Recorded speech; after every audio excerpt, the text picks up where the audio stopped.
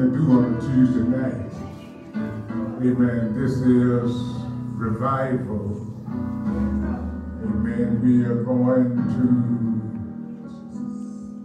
open the floor for whoever feel led to pray.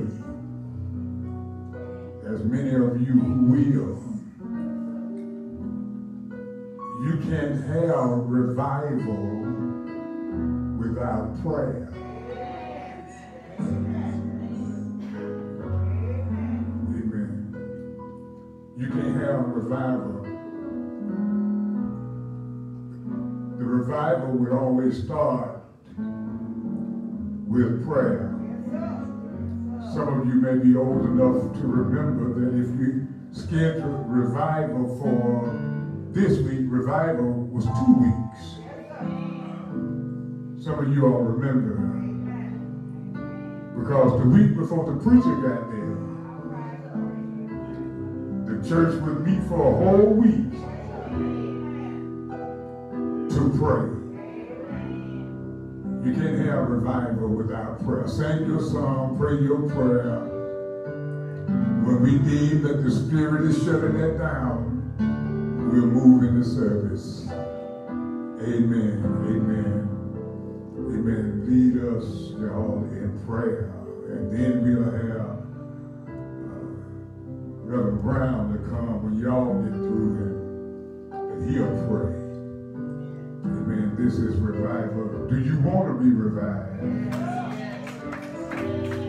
Do you need to be revived? Amen. Let us continue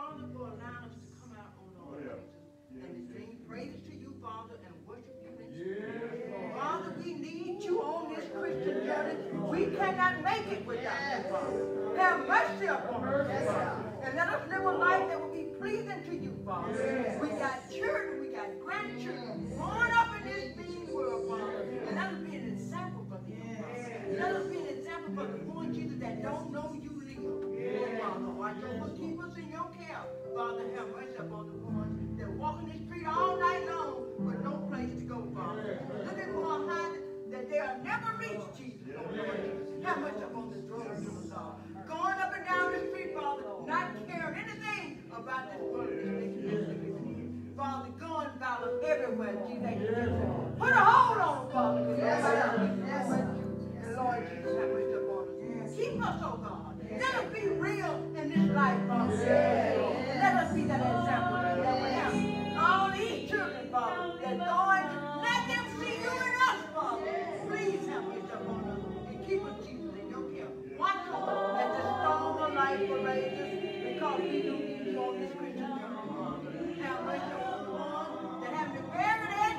Father.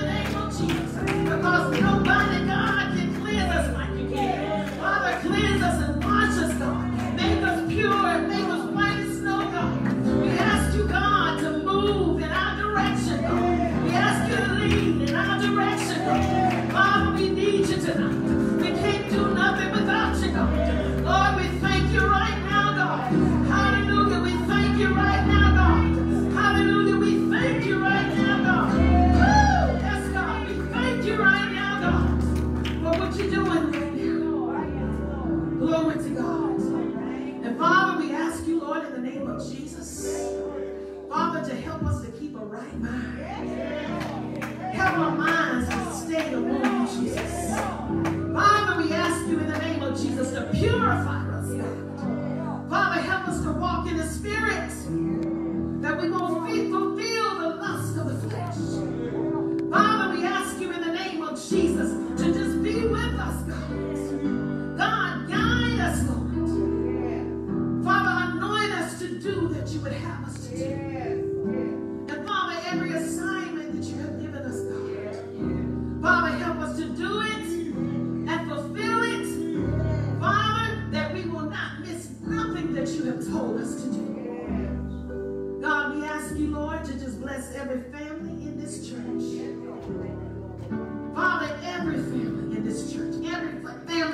represent. Father, we ask you, God, to just go in every home tonight. Father, and do a miraculous work. In the name of Jesus, uproot whatever needs to be uprooted. Annihilate whatever needs to be annihilated. Eradicate whatever needs to be eradicated.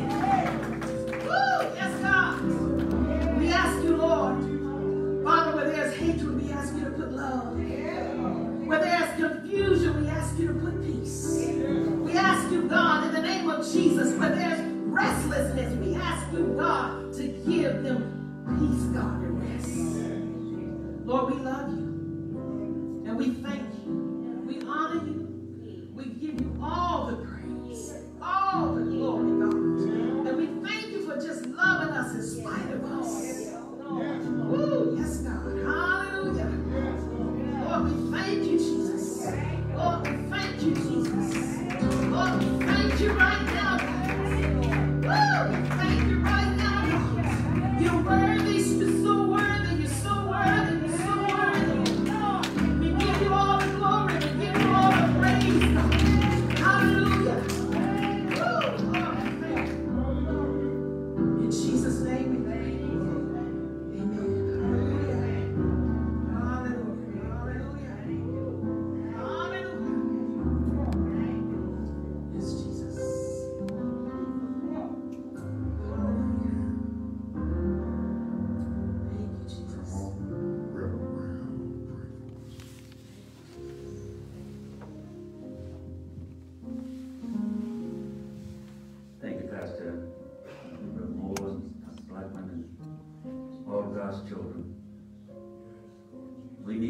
time to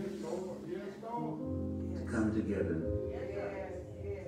and call on your holy and your righteous name. Our Father in heaven, we come before the throne of grace this evening to say thank you, first of all, for the blessing of life. Somebody didn't wake up this morning, but you spared us. Somebody woke up and couldn't turn over, but you spared us. Somebody woke up and didn't know that they were in the world, but you allowed us to move and have our being. To go about to see this beautiful day unscathed and unhurt. And even though some people cut us off in traffic and do all of the things and all that are not pleasant, but you still spared us. Because we could have been in an accident this evening and not made it to this revival. But Lord, I thank you, Lord, for your grace and your mercy, for your blessings that you have sent down before us. You give us a new day every morning. Great is your faithfulness. And we thank you, Lord, for your love and your kindness. Because you said from one blood spring all nations. And we are to treat one another as brothers and sisters because that's what we are. You made us that way. But there are some people who allow the enemy to infiltrate their mind. And they think that they are above and beyond other people simply because the enemy has blinded them. But God, I thank you for giving the vision to these pastors to have just this one night revival to reach some soul, some young person, some old person that needs a change in their life. You told Nicodemus, my father, don't you know that you are a teacher in Israel and you don't know that you have to be born again? But Lord, we need to tell these young people that Jesus came into the world a long time ago, nearly 2,000 years ago. Took our sins upon himself, nailed it to a cross, and wrote in blood, paid in full. Your sins are forgiven, but you've got to come to him and accept the blessings that he has poured out on us. Lord, we need you to, to, to touch our young people we need you to touch them, Lord, so they will stop the killing. We need you to touch them so they will stop shooting in houses. We need you to touch the parents as well, Lord, and let them know that children do things wrong and we need not uphold them in their wrong. We need not praise them when they're young and they talk back and all of the other things that they do. We need to discipline our children. We need to discipline our children. We need to go down to the house of prayer. Come in this house. Come in this house and tell Jesus about our problems. You ought to stop talking about COVID and tell COVID about your God. Because God is bigger than COVID. God can heal anything. I know he can heal because he healed me 18 years ago. And I'm so grateful for what he has done for me. Lord, I thank you. I remember we used to walk up and down these streets out here when they were gravel. Went down Central Foundry, worked and Debart Laban and Rockwell Chemical, National Asphalt, and all the other places, Lord. All those places are gone now. But you're still in charge. And you're still in control. And you will be there forever. So if we've got a problem, and I thank you for allowing these pastors to come together. It doesn't matter about denominations and all that kind of stuff and all. That's something man-made. We are need to come together in Jesus Christ. It doesn't matter whether you're a Methodist, Baptist, Presbyterian, Episcopalian, or whatever. Jesus Christ loves all of us. And he told Peter, upon this rock I'm going to build my church. And the very gates of hell will not prevail against it. We need a coming together, my Father. That song says, I went in the valley one day to pray. My soul got happy. And I stayed all day. We need you, Jesus, in these trying times. We need you when people are going astray, when people are doing everything that they think they want to do. And God, we know you can turn things around. When Peter was put in jail, Herod was going to execute him the next day. You sent your angel. Woke him up. Peter was fast asleep. That's what that, that's what I like about God. If you're in God in Christ, you can sleep in situations to where you know that your life will be taken from you the next day, but God has a plan. God sent his angel, touched him, told him, get up, Peter, put your clothes on, put your shoes on, gird yourself and come and follow me. Led him between those two gods, the chains off his hand. Got him out to the gate, and the gate opened by itself. Peter walked out and said, Well, I don't know, I'm in a dream or, or what. But then when he came to himself, he knew that the church was in prayer for him. And when the church goes in prayer, nothing can stop what God has ordained for his people. And we need you, God, today. The church is going in prayer, and we are going in prayer for our children, Lord. We are going in prayer that you will change hearts and change minds, Lord, and change mindsets. And tell these young people that we love you, Lord. We love you, people, and we don't want to see you in jail or in prison. We want you to change your mind. Change that mindset and come back to Christ. I ask these blessings in the name of your Son, Jesus, and for his sake. Amen. Amen. Amen. Oh, I feel like revival. Amen. We praise thee, O Lord, for the song that I love. Turn to your hymnals if you don't know all of it like me. Amen. Revive us again. 340 D in the red hymnal. And sing it if you want to be revived. Sing it like you want to be revived. Don't, don't, don't just drag through it. Amen. Lift your voice up from the depths of your soul.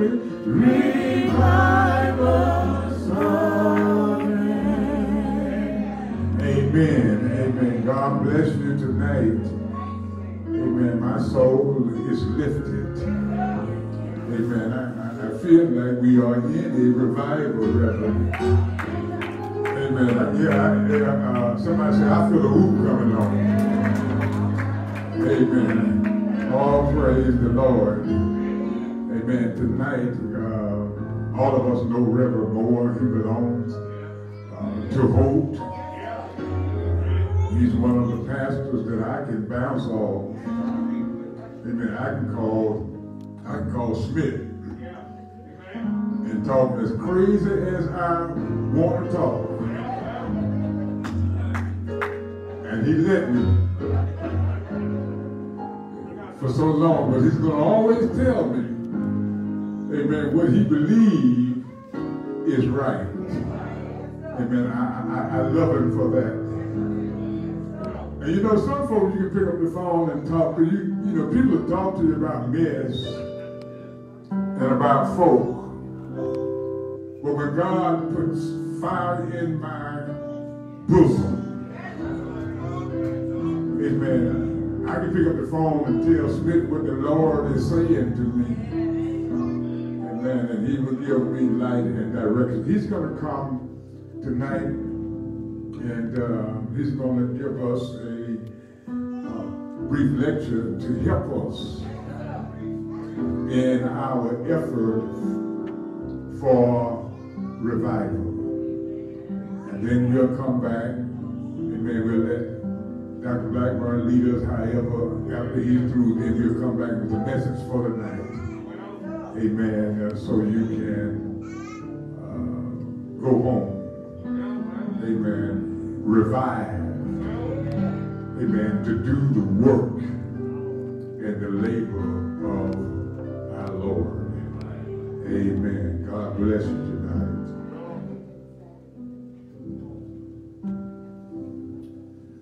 bless you, my brothers and sisters. It is good to be in revival tonight at Morning Star. Come on, put your hands together. It's good to be in revival. Uh, Fowler, Reverend, you're not the only one. I feel something too.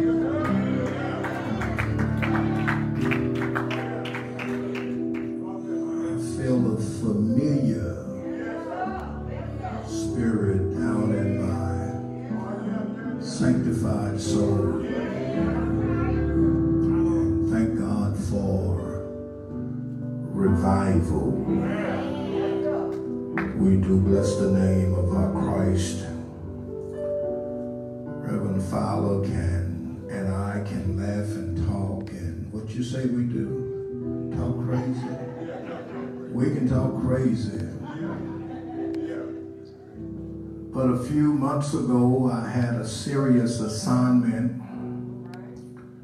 to go to one of my Caucasian churches to talk to them about systemic racism. Can you believe that? They asked me to come and talk to them about systemic racism. Guess who I called? I called my buddy who talked crazy with me. And uh, my God, did he share some nuggets with me. You see, we believe that iron sharpens iron. And uh, we're grateful to God for that. One of the things the modern church, and I'm going to try to be finished in about 15 or 18 minutes, and y'all pray mightily. Because I too want you to get out of here and go home. Sometime, sometime tonight. One thing the modern church needs to get back to is getting outside of her walls taking the message of Jesus. Do you not know that there are more people who are not coming to church than there are who comes? And if we're going to take the uh, uh, to take this message to the massive men of every birth, we got to get out of here. I really, I really, I really see the church as I do a service station.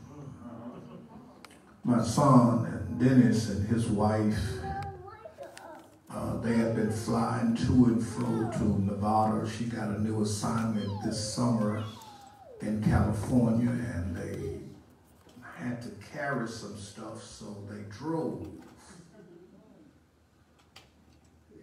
Drove the SUV and packed it.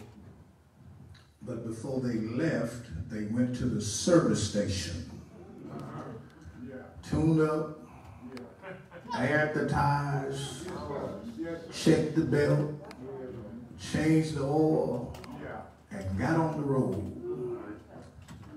And we come to the service station every Sunday and don't do nothing. But come back again. I believe that the church is designed and empowered to send us out. To send us out. Do you not know that most of the miracles Jesus performed and most of the work that he did was outdoors? Very little did he do in the temple. When he cast out demons, in most cases, he was outdoors. When he healed sick folk, he was outdoors. When he opened blinded eyes, he was outdoors. When he raised Lazarus from the grave, he was outdoors. Yes, sir. And when he filled that fountain with his blood, y'all know he was outdoors, don't you? Yes, sir. Yes, sir. And all of his great work was outdoors. And listen, he said to us, Go ye therefore preach and teach to all nations. Go ye therefore in the hedges and highways and compel men. Compel them, work at it. Be convincing and convicting in your argument. Compel them because hell is too hot to go to. And heaven is too wonderful to miss. Go. That's what he said to the church. And we have the gall to call ourselves missionary Baptists. Now, in most cases, that's a real joke. Because we ain't going nowhere. Now, I'm, I ain't talking about Morning Star, I'm talking about most folk. We ain't going nowhere. Sinners can be right around the church. And we fail to tell them about Jesus. Do you not know that the story of Jesus, the gospel of Jesus Christ, is the power of God unto salvation? To the Jews first, but to everyone who believes. And let me tell you, it is not just the preacher's job. Please don't make that mistake. Yeah.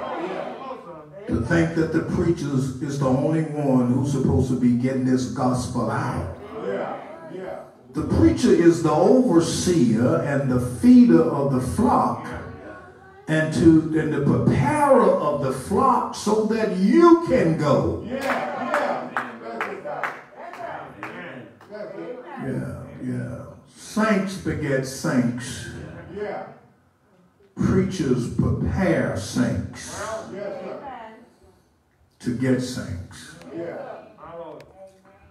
I was reading the other day and uh, I, I read where Jesus sent his 12 disciples out and he sent them out witnessing in, in Luke chapter 9. And they came back um, with a good report. But in chapter 10, he called 70 others. Yeah. All right. Oh, yeah, he did. Yeah. You're the others. Yeah.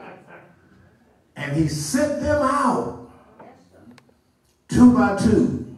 Yeah. They didn't have a title. Say that, Doc. Say that. All they had was an encounter with the Lord. That's all. That's it, brother. And Jesus told them to go. And I want to tell you today, let me tell you what they encountered when they went out. They came back rejoicing and they came back and told Jesus, even demons were subject unto us in your name. And I need to tell somebody, you can go anywhere. I don't care how big the devils are in the quarters, in the hood, in the projects. Demons are subject to the name of Jesus. Oh, yeah. And Jesus said with his cool self, he said, I know. He said, while you were out, I saw Satan fall like lightning. Yeah. Yeah. Y'all read that passage. Yeah. Yeah. Yeah. While you were out proclaiming my name, the devil and his kingdom started falling. No wonder the devil is raising so much hell and he empowering so many people. The church is paralyzed. She's constipated. She can get a whole lot of stuff in, but nothing out. Yeah. Yeah. Yeah. Now, you, know that'll kill you, don't you?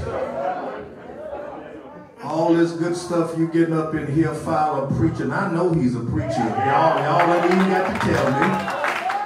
All this good stuff he's giving you, and you sitting on it, you holding it. And you need to do more than say amen to it. You need to say, that's right, preacher, I'm going to tell that. Somebody need to go tell it. The world needs to hear. I brought two books that I, I, I, I love, and one is America's Only Hope. Tony Evans, a black brother out of Texas, uh, who is a prolific writer. And Tony says that, uh, Dr. Evans said that the church, he talks about how bad off the world is, how sinful we are, and how dangerous we are, how broken, how poverty stricken we are, how many problems we have in the world, and how sociology cannot help us, psychiatry cannot help us. But he says the church is America's only hope. Because we have the healing for this world. We have the gospel. We have the saving grace. You know, Jesus told us, don't go nowhere, don't do nothing. Go to Jerusalem and tarry and wait there until the Holy Ghost come, and then you shall be witnesses unto me. Then, once you have received power, this wicked, dying world cannot change until she encounters the power of the gospel of Jesus Christ. That's us. I don't know how you feel about it, but the older I get, the more serious I become about this here church. It is America's only hope. It is the hope of hope. It is the hope of Tuscaloosa. If the church fails, community is gone. And guys, listen, we're going to have to stand up. Hold your head up and open your mouth. Tell dying men and women everywhere that Jesus died for you. And you can have eternal life. Yeah, Dr. David Jeremiah writes, I never thought I'd see the day. And in there he said, I never thought I'd see the day when the church would become so quiet. He said, I never thought I'd see the day when atheists would go after defending their position more than we defend ours. David Jeremiah said, I, I never thought I'd live and see the day when the church becomes so quiet and so corrupt. And so, guys, we we we we gotta get up. We gotta take this message and this inspiration from singing and this information from preaching. We gotta take it in and go do something with it. Yeah, yeah. The Lord is counting on us. We are his voices. We are his mouthpiece. I'm gonna say this and I'm gonna be through. Reverend, I got I have three short stories about witnessing, about getting outside of the walls that I want to tell. Uh, several years ago, uh, Charles, my brother, y'all know Charles, y'all remember Charles. Charles was working out here at Ryco Chemical and he ran into a guy who uh, was unsaved and Charles had sang and preached and hollered at him and you know, y'all remember Charles. But he wanted to present a serious witness to him. And he called me up one day and said, Schmitt, I want you to go with me. I'm going to see this brother tonight. And he said he's going to take time for us. And we went to his house, and Charles told me, I want you to lead in sharing the plan of salvation. I've already prayed with him, I talked to him, I hollered at him, I fussed at him, I've done everything, but you lead. And I went into that brother's house and shared the plan of salvation. I just simply told him that if he would confess with his mouth and believe in his heart that God has raised Jesus from the dead, that he can be saved. I said, man, do you believe that? He said, yeah. I said, do you want the Lord to come into your life? He said, Reverend, I've been waiting on this for a long time. Yeah. So I led him to Christ. We led him to Christ that night. Charles and I hugged and the, the high-fived each other and got ready to go home. And his wife came to the door while we were standing in the door, she came out of the back and she said, if my husband is saved and going to heaven, I want to go too. this is no lie. We closed the door, went back in the house and led her and they went to Beulah. They went to Beulah. Um, and we led her to Christ.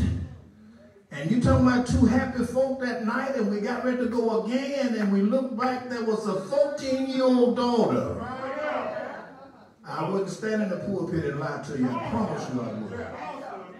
She simply said to us, I don't want to be left here by myself. If my parents are going to heaven, I want to go too. Man, you talking about having a good time that night.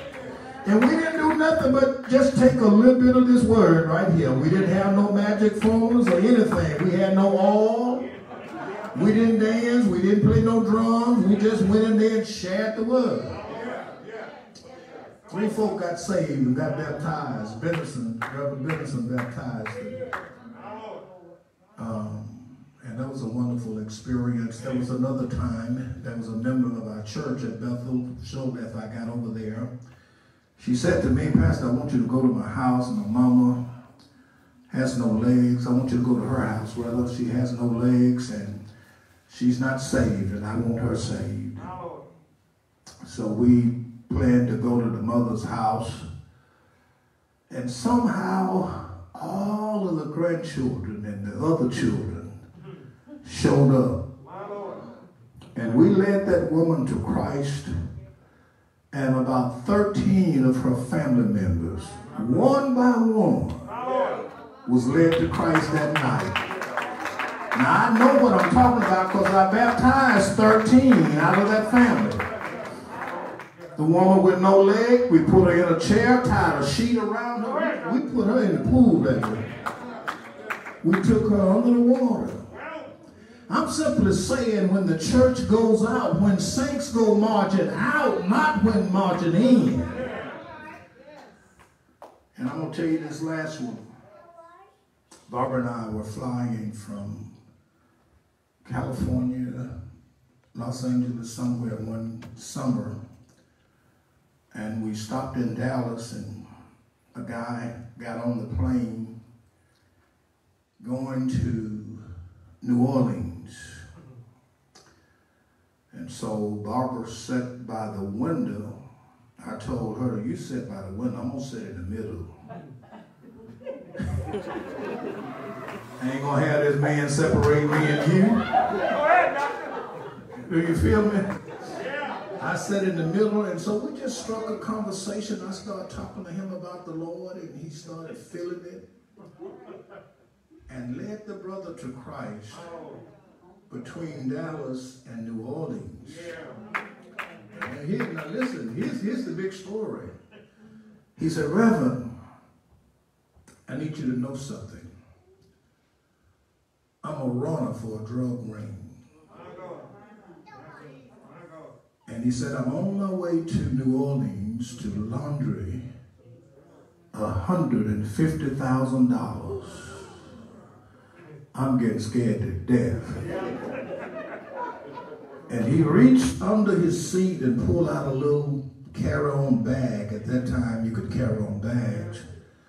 And he opened that, he had two of them, and he opened that bag up, and I saw the green. He said, I had $150,000 worth of ones and fives and tens and twenties. And he said to me, Reverend, what am I supposed to do? I said, zip that bag up, take it to them folk, go your way and sin no more, and leave me alone. All I'm saying, my brothers and sisters, is that the gospel still has power to save folks. People who have no intentions of being saved, the gospel will challenge and change them so much so until they say, What must I do to be saved? And every one of us ought to be able to tell them to confess with your mouth and believe in your heart that God has raised him from the dead and thou shalt be saved. You know the story. Whosoever shall call upon the name of the Lord shall be saved. Thank you, Dr. Fowler. Thank you, Morning Star, for allowing me to share this little nugget with you tonight.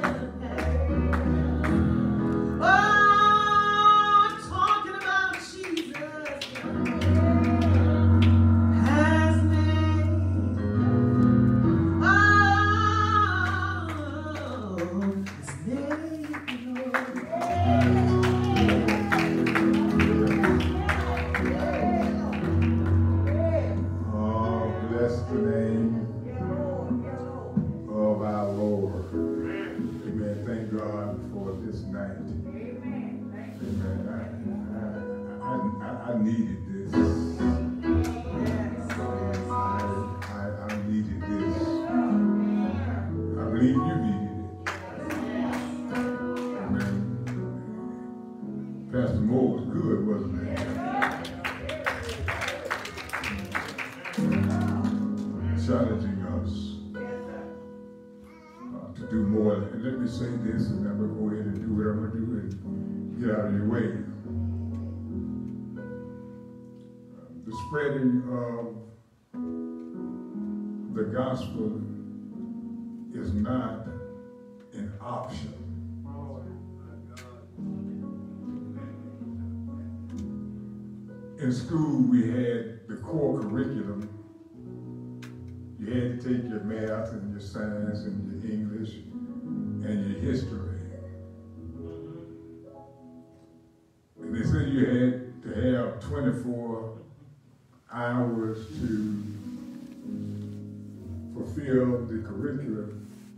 graduation.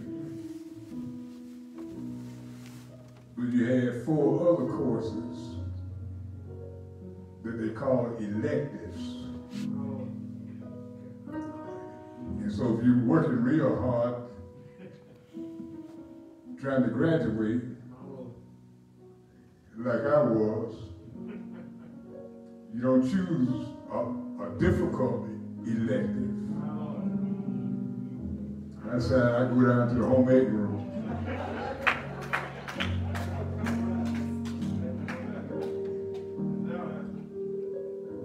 Basket weaving.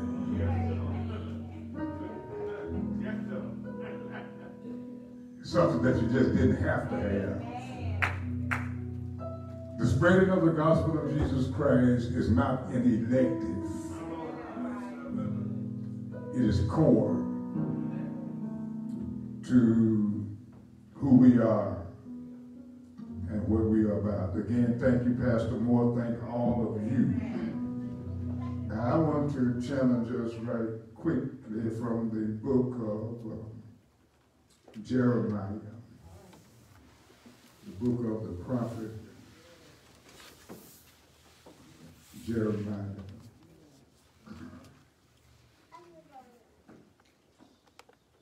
Chapter 6. Chapter 6. And in verse 16. The book of the prophet Jeremiah. Chapter 6. and verse 16. Thus says the Lord, stand ye in the ways and see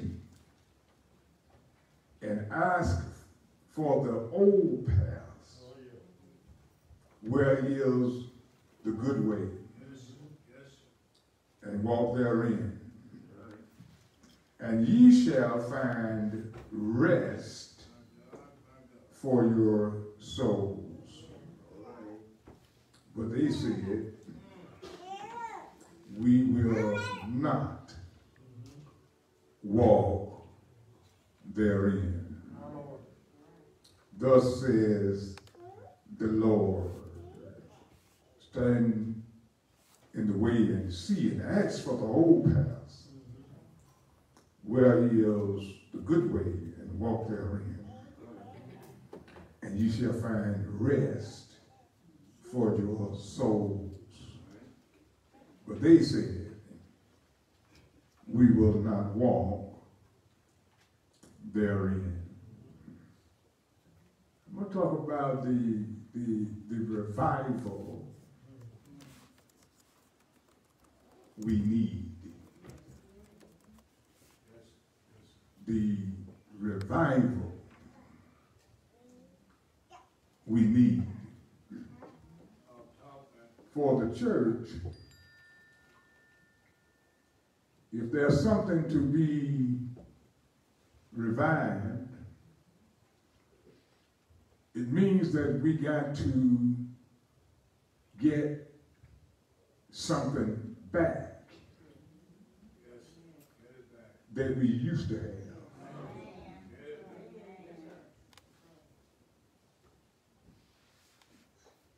If you're going to resuscitate a person who has lost consciousness,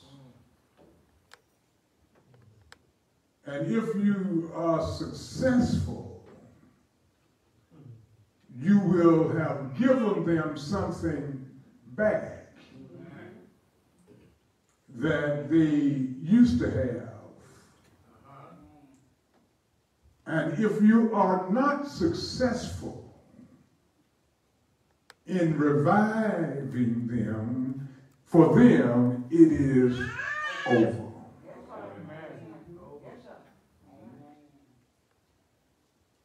Could it be said?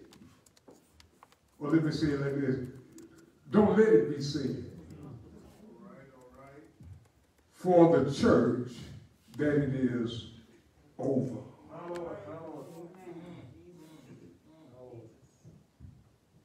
It makes you wonder sometimes.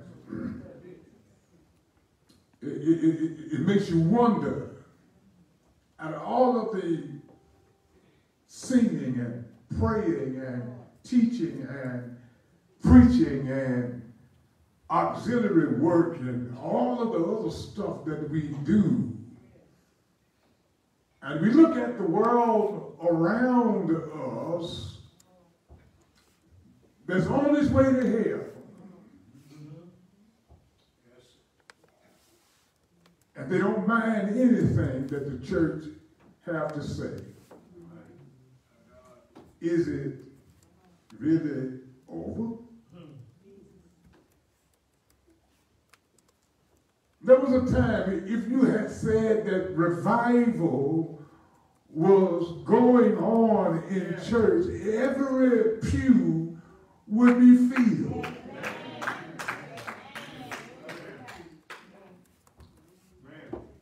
Let alone revival on Sunday morning.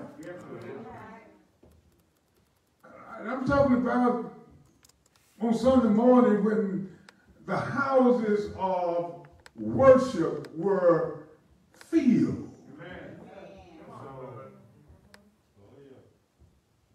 And check this out. We didn't have the things that we have now.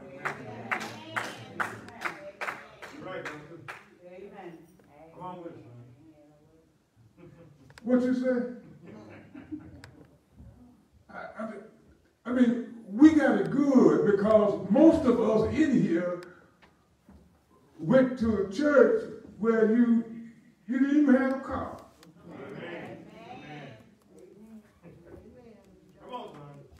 But on Sundays, the houses of worship were they were filled.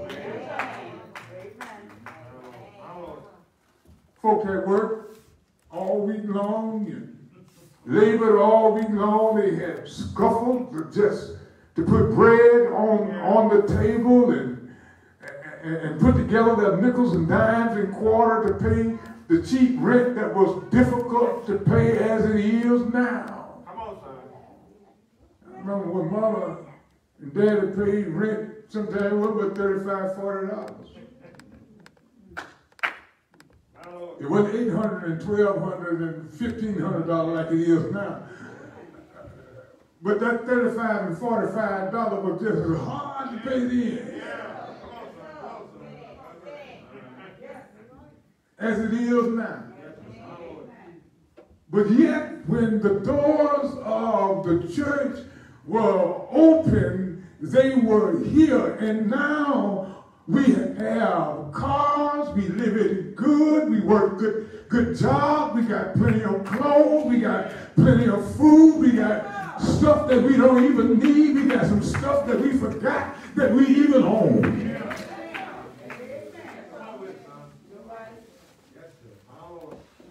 And I said, and, and then they came to church on Sunday morning after having a hellacious week. With no money, a house full of children, and then come to church and have the audacity to get happy and shout.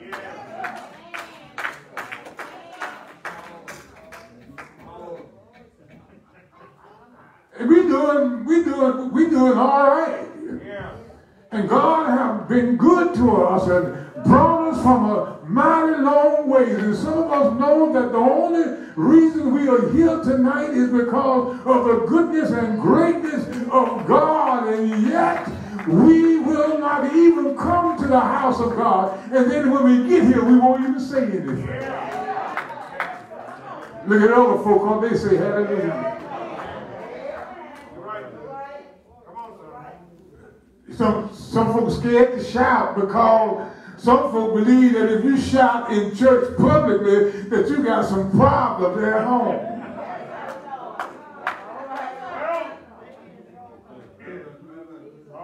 And it makes you wonder, is it over? Well, briefly, Jeremiah was known as the weeping prophet. Yes, sir. Yes, sir. Well, He was not popular. Uh, God called him to preach. And this, is the strange thing about it is that God called him to preach. And when he preached, nobody wanted to hear.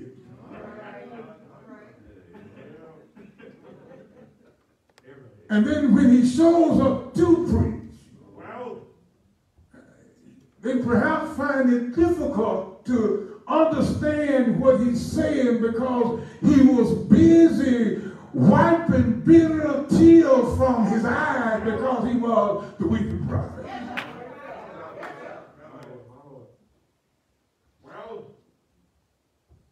And he was the prophet, and, and a prophet is known not but about what his opinion is or what his commentary is. We got too many opinion folk, amen, preaching the gospel and too many commentators on the gospel. Jeremiah showed up and just said, Thus said the Lord. I'm not your favorite person, but thus says the Lord. I, am inarticulate, but thus says the Lord. My eyes are filled with tears, but thus says the Lord. And, and, and tonight, Jeremiah writes is that thus saith the Lord. well, It may do us well if we can revive simply what thus says the Lord. What thus says the Lord. Because now people are worshiping at the altar of what's new. But the prophet of God only speaks that which God tells him to speak. And a prophet wasn't just some kind of a spiritual fortune telling. The prophet spoke to the time in which he and the people lived. He would talk about the future, but only he talked about the future as it relates to the present, or he would let them know what the future would be if they did or did not do certain things. He spoke to his time. He spoke to, to, to the contemporary issues because the contemporary issues for Jeremiah at that time, uh, the nation was headed to destruction. See, folk now want them a prophet to tell them some good stuff. Paul writes to Timothy that in, in, in, in the last days, men will not endure sound doctrine, but will heap unto themselves teachers having itching ears. Folk want them a preacher now that will suit their fancy.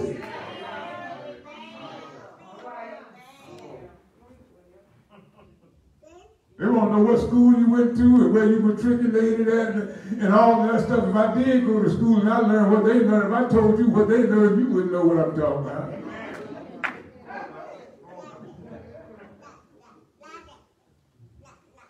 And what you need to know, not just where he went to school, but you might need to check to see if he knows Jesus. You might want to start there. Yes, our pastor matriculated at, uh, he matriculated at Morehouse. I, I, he went to Harvard School of Divinity, but does, doesn't know Jesus.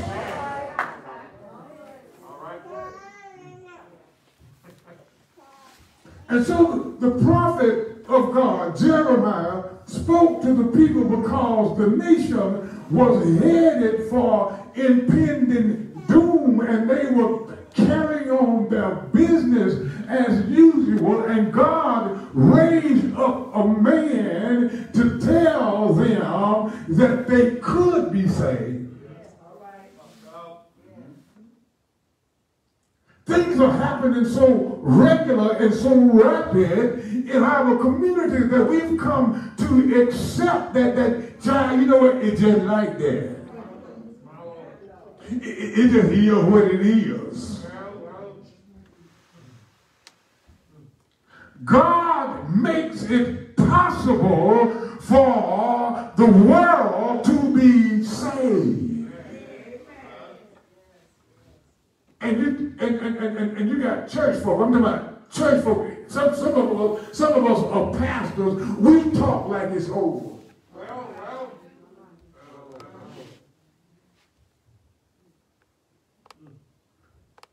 This week, Pastor Moore and some of the others will be preaching in, in the housing project, sharing the gospel. Now, and, and let me say this to you too, is that, that, that the housing project are, are, just starting points because the same problem that you have in the housing project, we don't want people to think that they're being stigmatized or that they're being profiled because they live in the project because the same problem that you have in the project, you got it in the subdivision. Amen.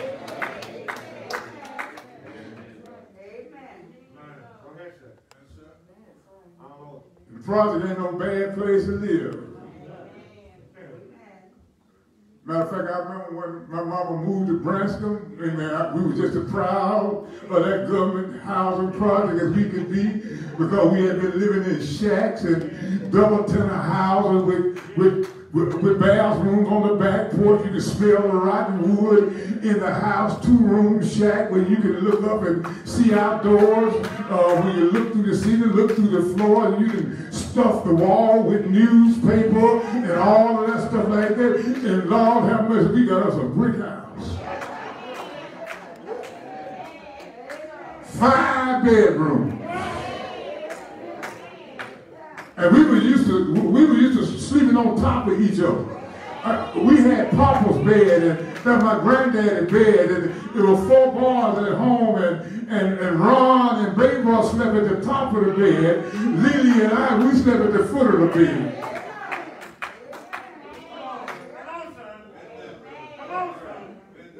You didn't know whether it was you or your brother that peed in the bed.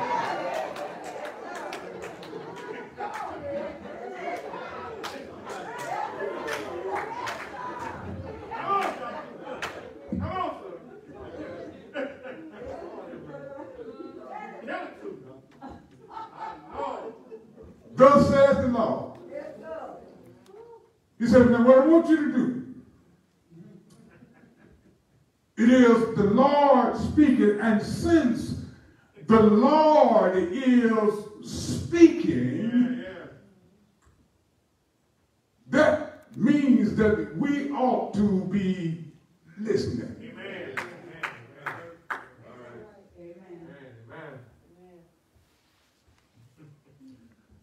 There was a little farmer, dirt farmer, was walking in New York City down the street, and another man headed to Wall Street with a briefcase, could hear the taxis zooming by, ambulance, and people honking their horns, and motors revving, and people walking down the sidewalk. He said, I hear cricket. Man in the briefcase said, I don't think you hear a cricket. He said, with all of the noise and the blaring horns and the sirens and all of the hustle and the bustle, there's no way that you can hear a cricket in this busy city. He went over to where uh, there was a plant uh, in, a, in a pot and he rubbed through the leaves and lo and behold, he pulled out a cricket and the man said, the man said to him, said, you know what, that, that's just unbelievable that you can hear a cricket. He said, well, look, I'm from the country and I'm a, and I'm a dirt farmer. He said, he said, I, I knew, a, I heard the cricket because I, I, am used to listening to it.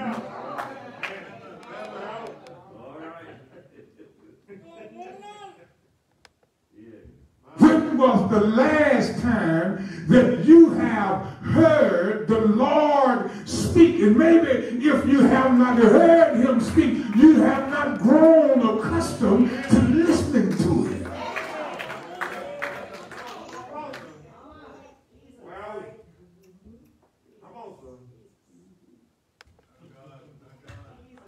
Thus says the Lord. You don't have to like fire. Thus says the Lord. I don't like his preaching style. That's cool. They didn't like Jeremiah's either. Amen. But but but but but, but, but thus says the Lord.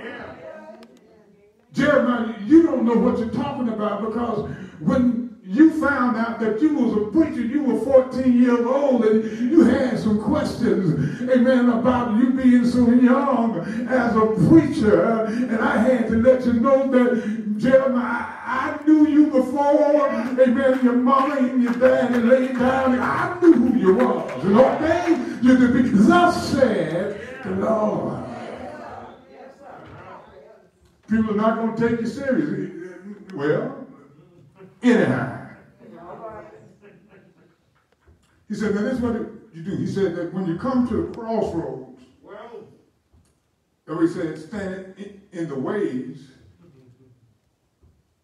in the crossroads are different directions you can take. You can go left, you go right, you go forward, you go backwards. And at this time, when Jeremiah is preaching, and when he is the prophet to the nation, they were at the crossroads. They uh-huh. They knew what it was to be a sovereign nation. They knew what it was to be a powerful nation. But little by little, slowly but surely, what they used to be was being chipped away. And when they looked around, when they looked around, things that did not look like they should look, they have now become worshipers at the altar of what's new, the latest fad and, and the, the latest fashion. All, all somebody got to do is come to town, amen, and say that they are a prophet, that they are an apostle, that I got some oil, and I'm going to pray this prayer, and I'm going to give you this handkerchief, and here we go.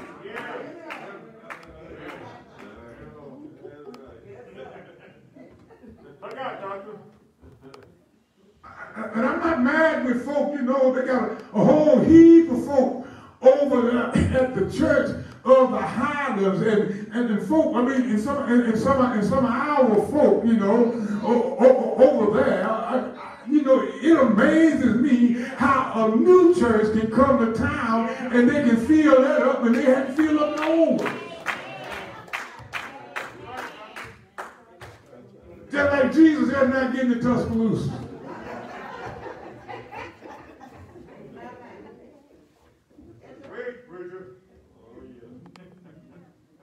A preacher never been here.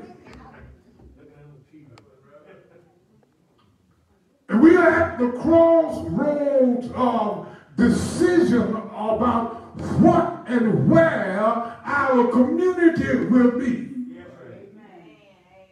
Now, what he said, he said, go to, to, to the crossroad, and what I need you to do is, is that I need you to make up your mind of what you're going to be. I know there's some things that you haven't got it figured out yet of what God wants you to do and what God wants you to be. And some of us are still asking the question, Lord, what is your purpose for my life? Where should I should I go? Well, let me tell you something, brothers and sisters. It is not a matter of whether God is not speaking. It is a, a issue of whether you can hear.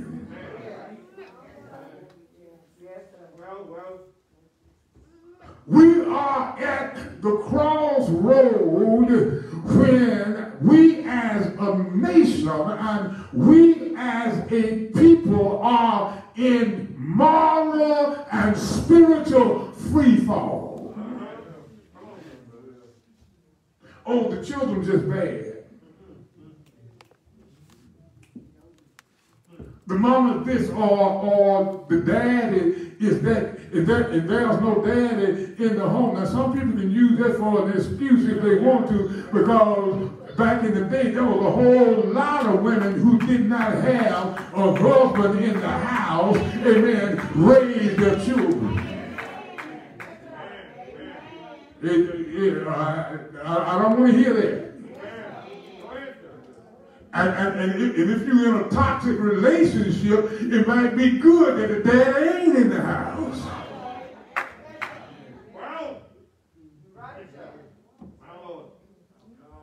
We couldn't say all that. Anyway. Study the ways. Examine the issues that are at hand.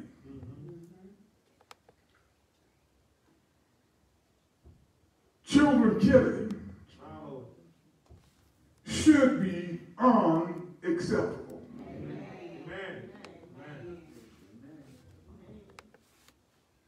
Every weekend, in this small, quaint, bedroom, non-destination town, unless it's football season, is nothing to stop in Tuscaloosa for.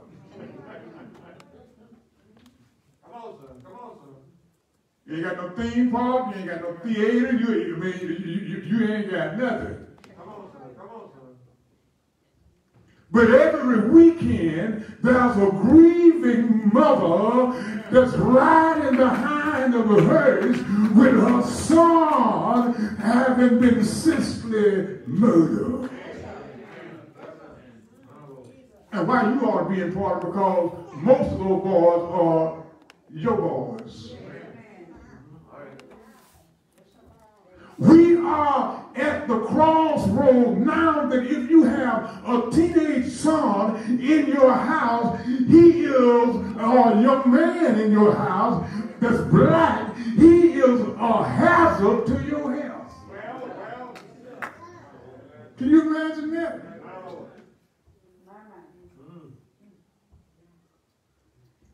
You can't go everywhere with your child and you can't know all of his friends and who knows him and, and what they do and your child get up and make the wrong connection or he gets something that belongs to somebody and ain't done paid for. And y'all know what I'm talking about?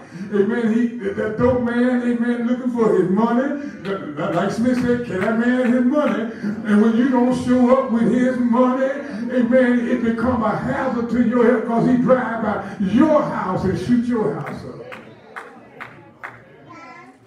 A black male should not be a hazard to your health.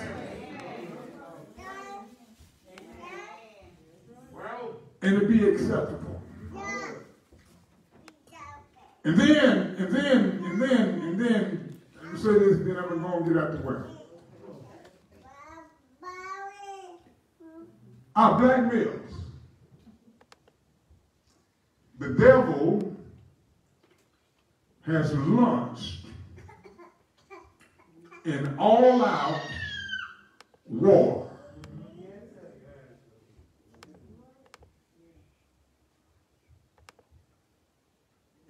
You don't care how you raised them? Well, the devil had it. They don't care how bright they are. The devil wants you. And, and, and, and, and let me tell you something. I, I found out that the only way to deal with a bully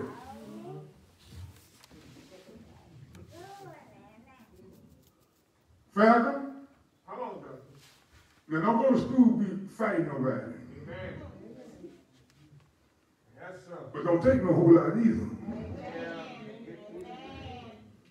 Now the way you deal with a bully, well, you got to stand up to it. And the people of God must stop allowing the devil to punk us out.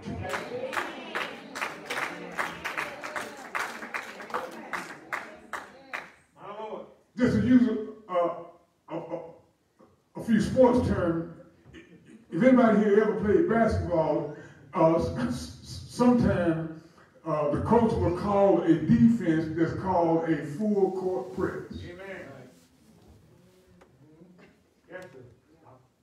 Full court press, not zone.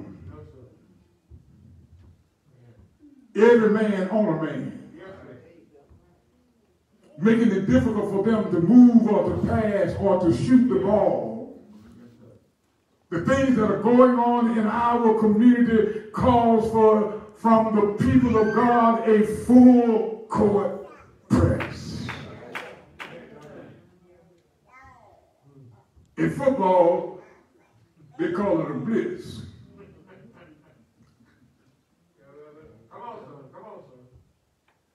We are in spiritual warfare. He's fighting for the minds and the hearts of our people. The church of the living God must fight for the soul of our people and the soul of our communities. Oh, yes, oh, yes, oh, yes. You know, you are responsible, amen, for what goes on in Holt. Are y'all hearing me? If y'all let them sell dope, they gonna sell it. Amen. If you let them keep the surroundings any kind of way, they keep it that kind of way. And when the community changes from homeowners to renters. They don't care about the communities like they used to care about the communities. People didn't have much. They had little shack houses, but when they got to the houses, they had flowers in the yard. They, they made it look good. They made it, they made it feel like a home that somebody lived there. Amen. We are at the crossroads. So he said, go in and take look. At the crossroads of life. He said, and when you get there, you need to seek information. We, we need information. We need information. In, in the next few days, in the next few days, Amen. We can't just have revival one time because we got some stuff going on in the, in the community. Our churches got, we, we must stop being that one and done, hit it and quit it. The devil has an all-out war declared on us and our community, and we got to fight back with a full court press and with the blitz, amen. We got to make the devil know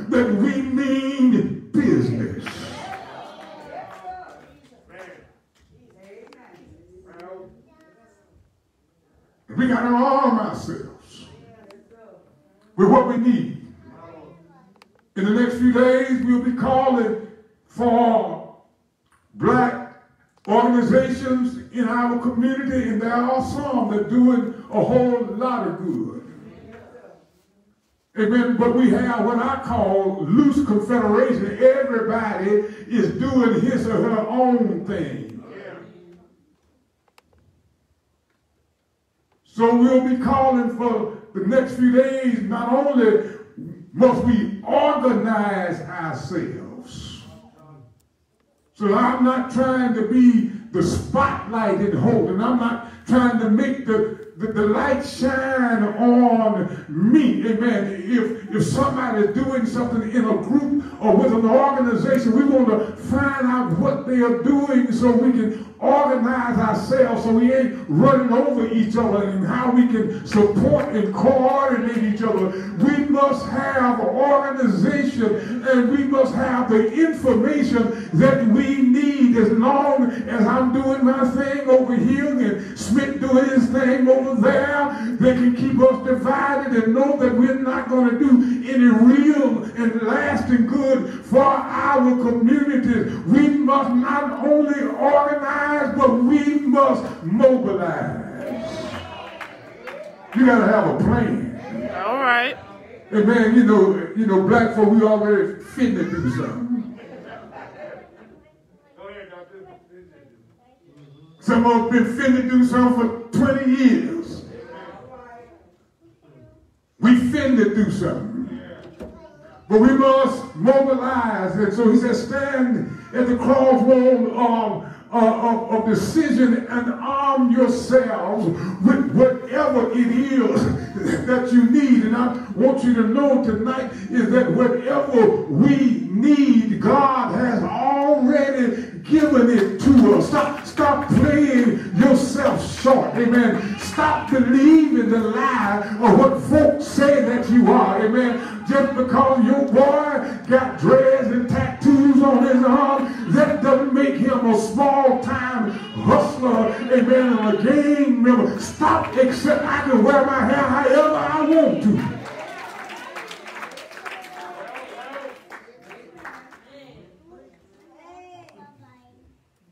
We got decisions to make. But we got to go back. He said, ask for the old past. Where are they? The things that brought us through hard times. Oh yes, we sang a song back in the day. Yeah, Give me that old time religion. And so then he says that um, if we find the old path, where is the good way? I want you to know that we are better people than what we are being portrayed. God has given us everything that we need to survive.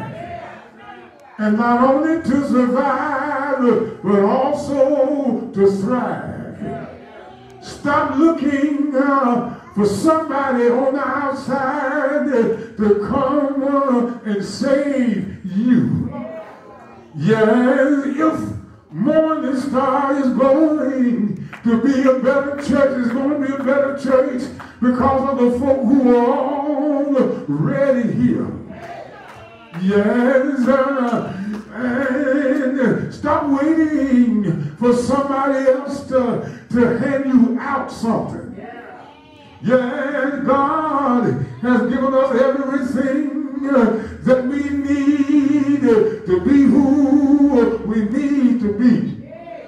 Yes, and uh, so then he said, ask for the old path and uh, the good way.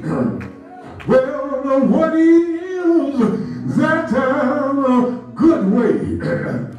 well, uh, the good way when we had uh, a genuine love for God. Oh Lord. We got to, we got to get back on our knees like we did the night uh, and start uh, praying uh, for, for our folk. Y'all heard tonight when the church uh, get back and revive uh, prayer in the church, uh, you'll see uh, a difference in, uh, in, uh, in the church. Uh, did y'all hear tonight? Peter was in jail, but uh, did not call the NAACP uh, and tell them, uh, I need y'all to stay or protest. Uh, didn't call uh, the ACLU uh, to file a writ uh, habeas corpus uh, for quick release uh, from prison. Uh, yeah, the saints got together down uh, at Mary's house. And they called uh, the name of the Lord.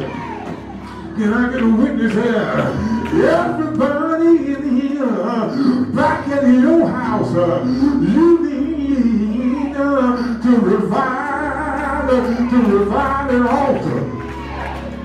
Can I get a witness here? Every now and then, uh, make the children uh, and whoever at your house uh, put that cell phone uh, in the tablet down. Uh, go turn uh, off the TV uh, and say, come on in here. Uh, we gonna have a little talk with Jesus. Uh, can I a witness here? And the the in prayer. God moved. Yeah. I know that there's somebody in the room tonight who need, who need the Lord to move. Can I get a witness here? Oh, brother, but I tell you, I tell you to have a little talk with Jesus.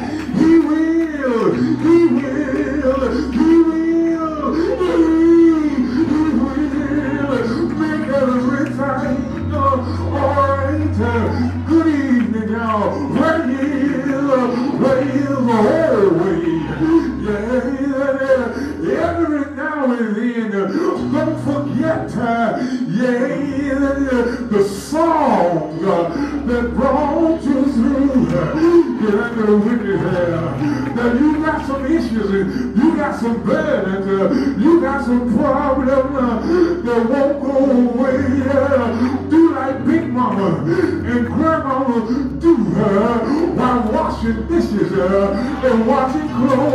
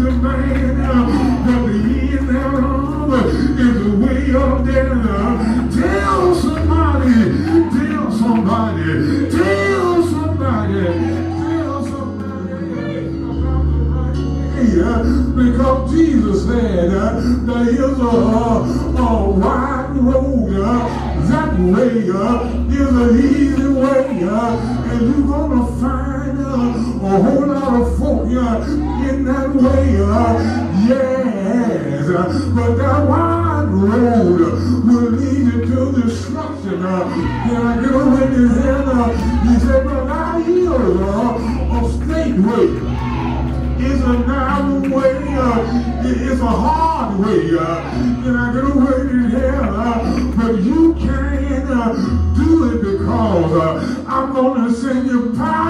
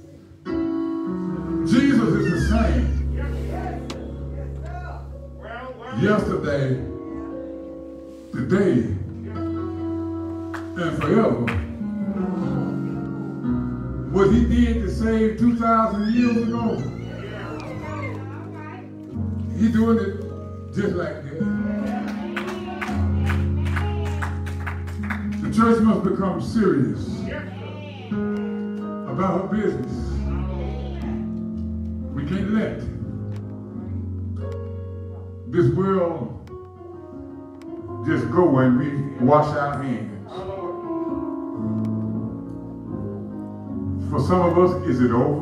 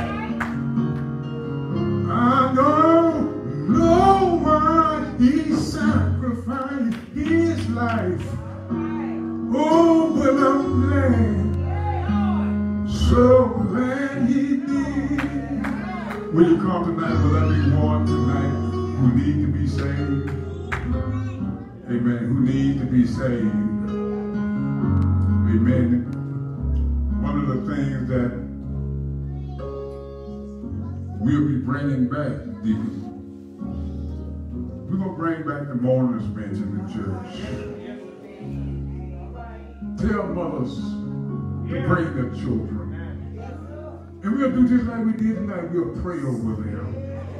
We'll pray for them. And we'll stay as long as it takes to get them saved. I'm not going to give up on them because you know what? Folk didn't give up on me. Amen. They didn't, they didn't give up on me. Amen. I'm just as unsaved as anybody could be unsaved on my way to hell. Amen. But they would come for them two weeks and make us sit on that bench. And they pray and they pray and they pray and they pray. And they were determined. They wouldn't close that meeting. If they knew you was unsaved, they would close that meeting. Amen. Until you got saved. That's what the church got to go back to. God bless you tonight. If there's somebody who need to be saved, somebody who need to connect with the church, this is the invitation for you to come. This is the invitation for you to come. The mourners bench in the church, amen, is for penitent sinners See, folk can be sinners now, Sister Spencer, and you ain't got to be ashamed about none of it. Amen. You, amen. You don't want nobody at you. You don't want nobody praying for you. Amen. But we're not trying to shame you out. We're just trying to keep you from going to hell. We're just trying to keep you from going to hell. And prayerfully that you can live that abundant life that he talks about in the here and now. Amen. God bless you today. God keep you is our prayer. Amen. Thank you. Come on, let's do an offering as generous as the Lord uh, bless you. Good to see Brother Lungzil. I hadn't seen him in a minute. I'm glad to see my nephew Aaron tonight. Is that Terrell back there? Amen. God bless you. Amen. Candace and I. Who is that? Is that Miss Barnes? Who is that? Who's that the end right there? Oh, oh, oh, that's one of them. Amen. God. Those urban girls. Amen. God bless you tonight. God bless you tonight. Amen. We want the church to be empowered. Amen. So that y'all can see God move. See, folk, folk don't even see God move in the church no more. Amen. We want to be a church where the Lord shows up, where sick bodies are healed. Amen. The devil, amen, is put in his place. God can still do what he's been doing, y'all. Amen. And we need to reclaim the power that God has given us. Amen. Go back to doing what, what worked. Amen. Doing what worked. God bless you. God keep you. Anything from the floor tonight? Anything from the floor tonight? Amen. God. Thank you, Pastor Moore. Amen. You will. Yes, sir. Oh, yes. Oh, as a matter of fact, I got, let me see, let me see who I want to give those. You know what? I think I'm going to give those to the urban girls. Amen. Amen. We, we have two tickets. Tell them about what's going to be on that. Well, good, good evening, everyone. We are having a breakfast on Saturday morning from eight to twelve. And it will be a breakfast where you, uh, just come and get your plate and go. It will not be a sit-down breakfast because of CDC guidelines.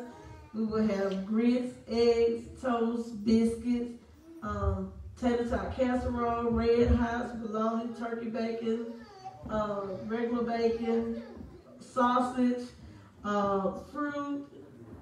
We're gonna do it Morning Star style. So we're asking everyone to come out and support. This is part of our vision um, that the pastor has for this church for his 40 years of preaching. We're trying to raise $40,000 for Morning Star Baptist Church, and we're asking everyone to come out and be a part of this.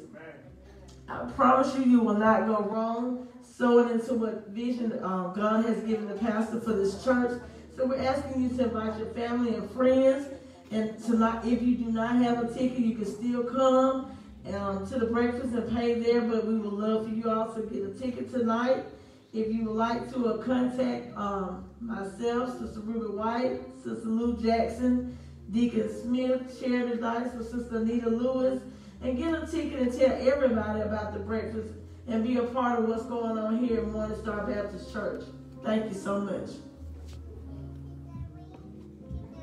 Amen. Falcon, y'all urban girls, y'all come and, and back and get some breakfast so we can show y'all some love.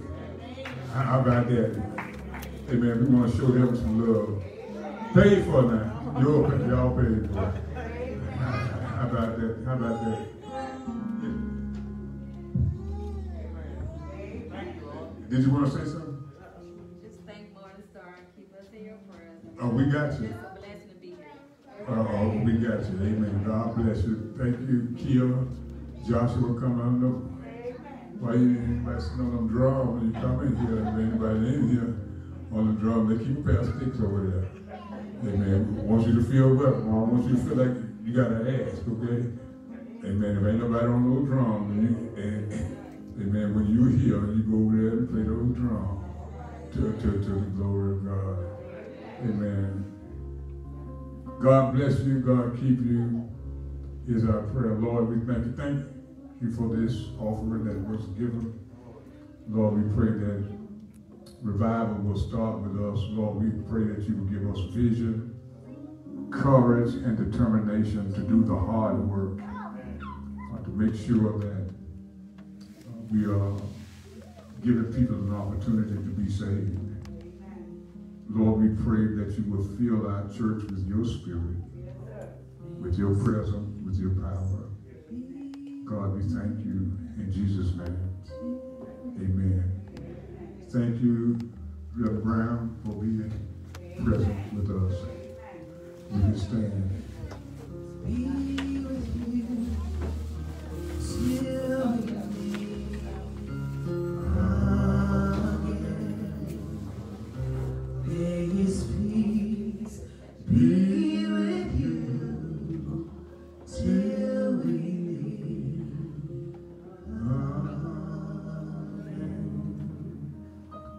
Bless you. The Lord keep you. The Lord lift his countenance upon you and be gracious unto you and give you peace. In the name of the Father, the Son, and the Holy Spirit. Amen. Depart this place with the blessings of God.